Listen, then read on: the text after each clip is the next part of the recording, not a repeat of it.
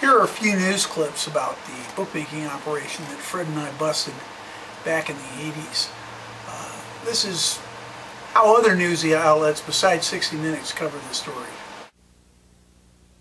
Illegal betting on sporting events is a national pastime to the tune of $35 billion a year. But here in Los Angeles, it's an obsession. Simply put, we are the sports betting capital of America. Michael Tuck has a special report. Bree, believe it or not, last year, Angelenos bet an astounding $6 billion on sports, all of it illegally. That puts bookmaking right behind drug dealing as the largest criminal enterprise in all of California. Over the next three nights, I'm going to take you inside the shadowy world of sports betting. You will meet the penny ante winners and the million-dollar losers, the cops and the con men, the betters and the bookies. 104 on the run line for 200. Run line for 200? Yeah. 118 on the run line for 200. It may just seem that way, but in America, it seems that everybody bets on sports. 120 run line. For how much? 21. We bet on everything, basketball, baseball, even golf. Some bet small, some bet big. It's legal here in Las Vegas, where nearly $2 billion is bet every year on sports. To bet on tonight's games here in Las Vegas, all you do is walk up to the sports desk and give the man your money. It's even easier to bet illegally in Los Angeles. A bookie is never more than just a phone call away. Hi, can you give me the line on the NCAA? This is Kenny, number 41. You got Ohio State minus four for a nickel, Minnesota minus two and a half for a nickel, and a $200 par. The action never stops here in the sports betting capital of the world. The bets, like the one placed by a movie tycoon, can be astronomical. I said, what's in the briefcase? He says, he says, be careful with it. There's a million dollars in there. It's Super Bowl bet that he just lost. He was paying off a $1 million Super Bowl bet. The bigger the game, the bigger the action. What's the line on Duke? Five and a half. Give me a 100 on Duke minus five and a half. How much you bet? I don't want to commit myself. I might be on national television. Only bet two bucks? My wife would kill me. How much you bet on the game? That's a tough question. I'll say $100. You know, I'm hoping that uh, that Duke picks it up a little bit so I so I can beat the spread. You bet big sporting events or Everything. everybody here has made a bet on this game, raise your hand. Of those who bet illegally, few think it's wrong. Ray, a big-time gambler, tells this story about his bookie. I have a particular friend that takes action from a particular section of the police department, we'll say. Once a year, they'll call him up and they'll say, uh, listen, we're having a big roundup this weekend. Can you make it in on Saturday morning? And they'll go, yeah. He grabs a handful of slips and they'll come in there and stick out his hands and they, you know, put him behind his back and he just, you know, They get hangs- the TV cameras Hangs his on us. head down as he walks walks across the room, and that's it. You know, they put him in jail. He's in for five minutes. He pays a hundred dollar fine, and he's gone. So if so many people break the law anyway, should sports betting be legalized in California? I think the government can gather its tax revenue from it. I think it should be legalized. I'd be afraid. You'd be afraid? Yeah, personally, I feel like I might lose a little too much then. Well, tomorrow you will meet the man other bookies say is the biggest bookmaker in history, a man who allegedly controls a worldwide, multi-billion dollar illegal industry from a ranch right near Los Angeles. Okay, specifically, what is the law on bookmaking? Technically, it's, it's every bit as illegal to make a bet as it is to take one, but in practice, the cops hardly ever arrest bettors, and when they bust a, bust a bookie, generally he's fined just a few hundred dollars, he's set free, and he's back taking bets again later that night. Meanwhile, the state of California gets nothing from They it. They get nothing from mm. it. It's a multi-billion dollar industry. Last night, I showed you how easy it is to bet with a bookie and how all sorts of people do it. Tonight, we follow the money through the underground world of the bookmaker. You may not know Ron Sacco, but if you've ever bet with a bookie, he likely knows you. Sacco controls a multi-billion dollar a year enterprise, all of it illegal. Simply put, Ron Sacco may be the biggest bookie in history. Hello. We got uh, Minnesota two and a half, Lakers four, and Ohio. All right, hold it a minute. Minnesota minus two, six to five. Atlanta plus 10 for a nickel. Lakers minus three and a half, six to five. Michigan plus four and a half, 240 to two. All right, good luck. Like cautious businessmen everywhere, bookies hedge their bets. When the action gets too heavy on one team, the bookmaker himself will bet on that team and place the bet with a bigger operator. Give me uh, Michigan plus four and a half for a nickel. Then give me Michigan plus five, six to five. At the very top of the pyramid is this man, the bookie's bookie, Ron Sacco. It is the opinion of other bookmakers that Ron Sacco is the largest bookmaker probably in world history. Back in the mid-1980s, Sacco was just one of a dozen large-scale L.A. bookmakers, but he foresaw the potential of the electronics revolution.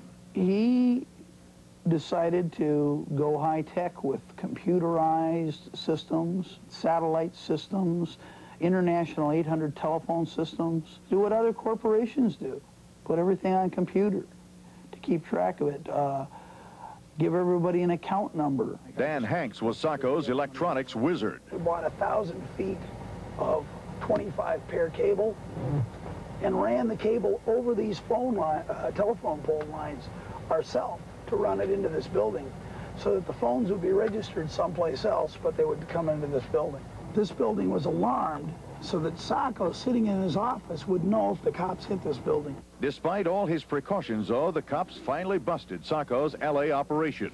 So he moved to Las Vegas, where he expanded in size and scope. On that day, June 30th, this better made a total of eight bets in which he lost to Ron Sacco a total of $27,800. These are the amounts, the total amounts owed to him by bettors who have lost to his organization. I see $52,000 down here, $10,000, $9,000, $34,000. These uh, total approximately 50 or 60 bettors, and there's about five or six hundred thousand dollars represented on here, and he had hundreds and hundreds of bettors. How did some of Sacco's losers in Los Angeles settle up? A lot of people that bet pay by check. I just go up to the door, knock on the door, be after hours, but a woman would come to the door and she'd recognize me and she'd let me in the bank. I'd be in there about two minutes. I'd make a exchange of a package of checks for cash. You know, it might be $60,000. It would be in a sealed envelope. Sacco got busted again, and this time he did a year in prison in Nevada. But nothing could stop his booming business. Investigators say he expanded in New York and Philadelphia, where his operation was sanctioned by organized crime and supervised by Joe the Cadillac Landmesser, a one-time associate of the notorious Bruno Scarfo crime family. I went to a meeting in Staten Island uh, at a, an Italian restaurant. The scene looked like something right out of The Godfather. I mean, we walked in, and it was all these guys that, everybody had the middle name of the. You know, it was Louis the Scarf. According to authorities, Sacco made one final brilliant move to the Dominican Republic. So that he could set up an operation to receive bets in a jurisdiction where gambling is legal, but to receive bets from all over the world in locations where it is illegal. He is the largest telephone subscriber in the Dominican Republic. And where is the world's biggest bookie today? on this plush horse ranch near Los Angeles, where he reportedly uses seven satellite dishes to control his multi-billion dollar empire. Ron Sacco is back home. Made it so all you got to do is make a phone call from anywhere in the world, and you can place a bet. Now, we spoke with Ron Sacco's lawyer, and he vigorously denies that Sacco is connected with organized crime. He added, though, that Sacco has no control over who bets with him, and organized crime figures, he said, may do that from time to time. Tomorrow, you will meet the people who place the bets, from the businessman who put down a 100 on a championship game to make it interesting, to the movie tycoon who routinely won and lost close to half a million dollars at a pop. Illegal sports betting is a $15 million a day business in Los Angeles. Tonight, you'll meet the people who make the bets, the casual bettor, the compulsive gambler, and the studio executive who wins and loses half million dollar fortunes. The stupid bet for the better, but they bet it. And they bet on horses whose name rhymes with their kid, you know, or who, you know, the, the birthday of their their first sweetheart or something like that. They bet for stupid reasons. Give me a 100 on Duke minus five and a half. You wouldn't enjoy this game if you didn't put money on it? No, absolutely not. Patrick is a casual gambler, always betting well within his means. That was not the case, though, with Stanley. My worst week was when I bet every football game on the board except one, probably 60 or 62 college football games on a Saturday. Because you're a dentist, how can you have this monumental ego about winning a football team when you don't even, I'll ask him, I'll say, well, who's the starting running back on Pitt this week? We never use the word and. I don't know. Well, who's the best defensive player? I don't know. Raymond can't afford not to know. He's a professional gambler, he takes into account every factor which can affect a game. The important ones start with, of course, the coach and the school and their attitude. I then make my judgments based on what I feed into the computer, okay? My computer now talks to a larger system that we have set up that four of my friends can talk to also. One on the East Coast, one in Miami, one in Texas, one in Michigan. Yellow, we got uh, Minnesota two and a half, Boston 10, Dallas two and a half. I shop the lines in my cities, and my colleagues shop the lines in their cities. If it's a California team playing a Michigan team, the chances are that 10 to 15 times a year we get a situation where all we've got to do is bet the Michigan side in Michigan and the LA side here. You'll win both ends. Raymond and his associates bet about $25,000 a week. And like prudent businessmen everywhere, they plow their winnings back into next season's stake. I don't care how tough my team played and how they almost covered and all that. Uh, I care about the plus and the minus column. What Raymond does on a relatively small scale, the man who lives here, Agoura surgeon Ivan Mindlin, did on an enormous scale. Mindlin and his aptly named computer group placed multi-million dollar bets in at least 11 states. It was a very sophisticated operation. The only thing that's going to be messed up is that FAD light. We'll have to get uh, somebody in there to look at the FAD light. One-time Lorimar Pictures partner Irwin Molasky won and lost fortunes with Mindlin betting for him. I left 430 with him. 430. I told you we were in that guy's place until 4 in the morning counting money. Arnie's fingers are still green. He can't get it to come off. We're at the guy's kitchen table. He's making us hot post them, and we're counting pack after pack. And Susan, I swear, some of the packs had ones in them.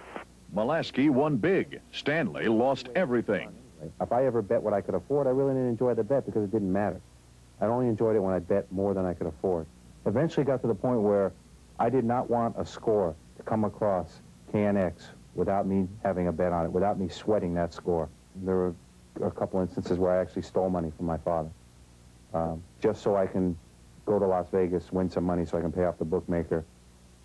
It's a sad story. Stanley lost his business, lost his wife, and lost his children before he finally joined Gamblers Anonymous, where he does have plenty of company anyway. Compulsive gambling is the fastest growing addiction among American teenagers. Mm, I noticed that uh, Dr. Mindlin and his computer group were indicted for betting.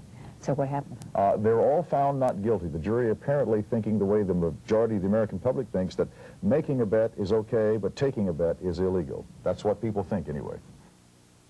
Estimated that Americans wagered almost $37 billion last year on big-time sports, and much of that illegally, much of it by telephone. Tonight, NBC's Brian Ross reports on the biggest bookie crackdown in U.S. history. Brian? Tom, until this week, the people who run the huge illegal sports gambling business thought they had a sure thing, a high-tech, offshore bookies paradise that handled hundreds of millions of dollars a year in sports bets.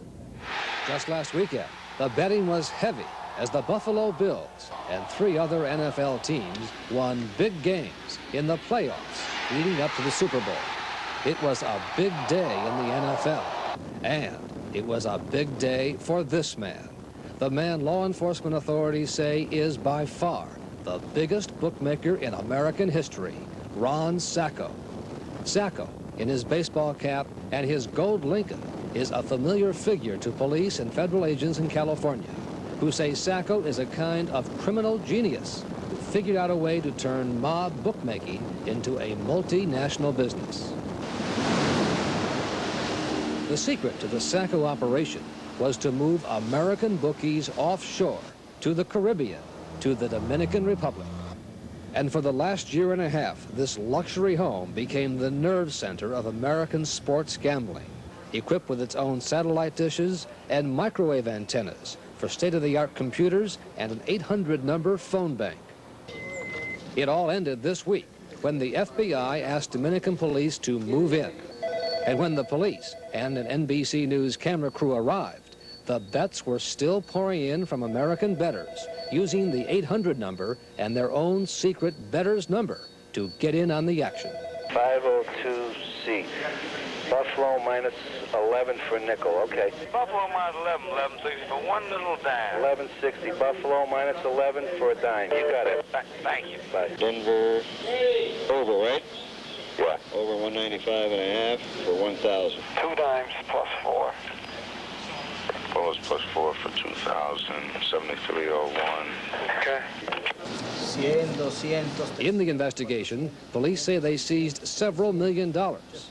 Authorities also seized these photos the bookmakers apparently took of themselves in their bookie's paradise.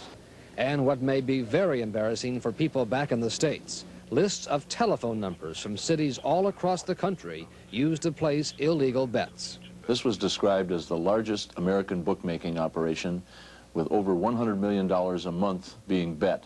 William McGivern is the U.S. Attorney in San Francisco, whose office, along with the FBI, began the investigation of the offshore bookies. Not only the massive nature of the organization uh, makes it significant, but also the fact that the technology they used, they felt was going to evade investigative uh, techniques. This investigation of mob sports gambling has already led to a race-fixing scandal in Canada involving the drugging of horses.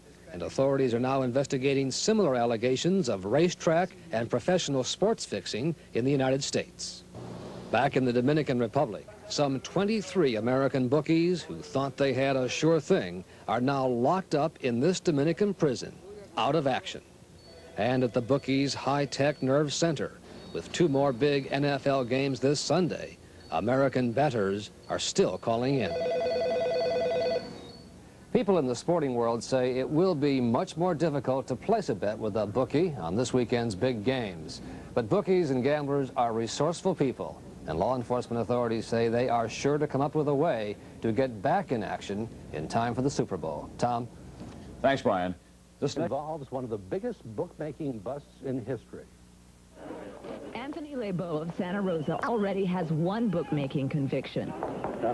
He is among 16 people indicted in San Francisco for alleged connections to a huge sports betting operation. Federal agents say the ring, centered in the Dominican Republic capital of Santo Domingo, had mob ties in New York and Bay Area connections as well. We believe it's the biggest bookmaking operation in the United States.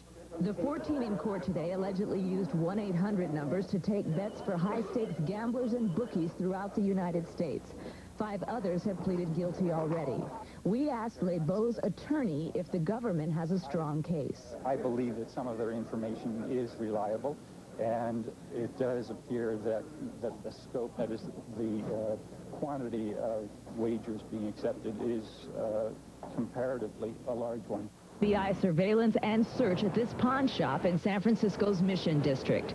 You may remember the owner, Daryl Kaplan. He made news when he found William Saroyan's Oscar and donated it to a Fresno museum. Although pawn shop owner Daryl Kaplan has not been indicted in this case, U.S. Attorney William McGivern says the volume of bookmakers' checks allegedly cashed through this shop was tremendous. Indication. in the case appeared in San Francisco federal court today. They're accused of acting as bookies in a huge sports betting ring that took in as much as $100 million a month.